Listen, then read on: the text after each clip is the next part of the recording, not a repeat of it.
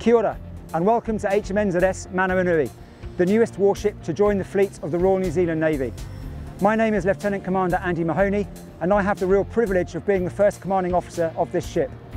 This is a really exciting time for your Navy. For the first time, we'll be able to deliver truly integrated capability all from one platform. That will be diving, hydrographic survey and salvage. To do that, we have a whole raft of leading edge technology to help us advance New Zealand's interests from the sea, above, on and beneath the surface. So why don't you join me now and we'll go for a tour and have a look at some of that equipment.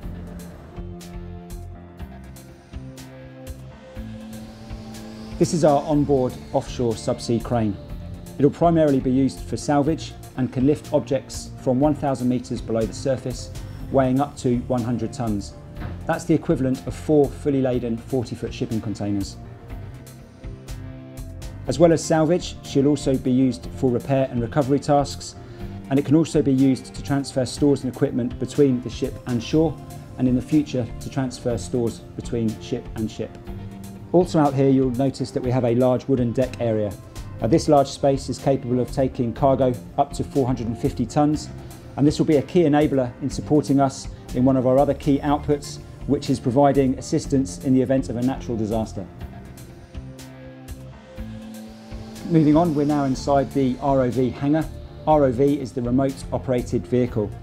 Uh, what you see here is an industry standard ROV and a very capable piece of equipment that can operate down to depths of uh, 1,000 metres. Uh, from there, she will drive out of the large silver garage and operate 200 metres uh, away from the centre line of the ship. She's fitted with a couple of manipulator arms uh, and these can be fitted with uh, different pieces of equipment such as a water jet, a cutting wheel. Uh, you'll also see that she has a number of lights and CCTV cameras so that we can see what the ROV is looking at uh, from within the ship. We're now on the dive deck and most of the dive equipment is centred around our moon pool.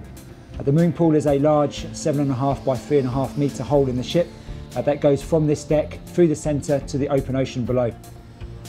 Looking across the moon pool on the far right hand side you can see the large white diving wet bell.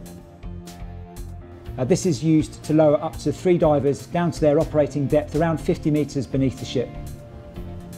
Over on the left hand side is the HD Lars, otherwise known as a work basket, and we use this to lower down uh, tools and other equipment uh, which the divers may require to conduct their tasking uh, beneath the ship.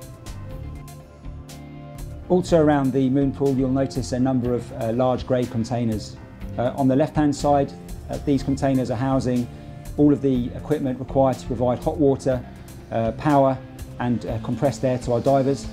And on the right hand side we have our dive control container and of most interest is the recompression chamber uh, which is used to tend uh, to divers when returning from depth. As you can see here inside there are two beds uh, which means the recompression chamber is capable of looking after uh, two injured divers plus one medic as required. And moving between decks we now find ourselves in the main engine room. Uh, we have four main diesel engines but typically we'll operate on two. One of the things that makes Manawanui particularly unique is that two of our engines are world leading in terms of green emissions mode. They have a system inbuilt which will remove harmful emissions before we exhaust to the atmosphere. One of the other things that makes Manawanui unique is that we are incredibly economical. By way of example, uh, the delivery voyage between Denmark and New Zealand took 52 days and we returned to New Zealand with 30% of our fuel remaining.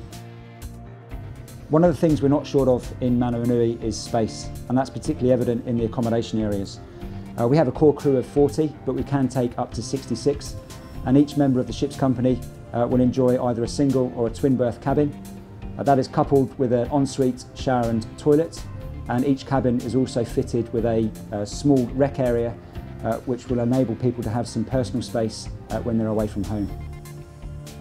We now find ourselves on the ship's bridge and as you can see, one of the unique features of this bridge is that we have floor to ceiling windows 360 degrees. The primary conning position is on the starboard forward side and because of our unique propulsion method uh, you'll notice that we do not have a ship's wheel. Instead we use a combination of levers and dials uh, to manoeuvre the ship. Also in this position are our electronic charts and the computers required for our dynamic positioning system. Now, this system takes information from a whole raft of sensors uh, to hold the ship in one position and this will be used when we're conducting diving or operations with our ROV. These systems are mirrored on the starboard aft side and there is also a place on the uh, port aft side of the bridge uh, where we can steer the ship if we're ever required to go port side to in a berth or harbour. We're now approaching the end of the tour and we find ourselves on the ship's flight deck. This is another unique feature for Manama and that unlike all of the other ships in the fleet, our flight deck is actually at the forward end of the ship. As you can see, it's quite a large area and it is capable of receiving all of the current in-service maritime helicopters, the Seasprite and the NH90. Well, that completes the tour. I'm sure you'll agree that this is a fine looking ship with a huge breadth of capability to deliver for the people of New Zealand. On behalf of my ship's company, I thank you for taking the time to join us and we very much look forward to hosting you on board in the future.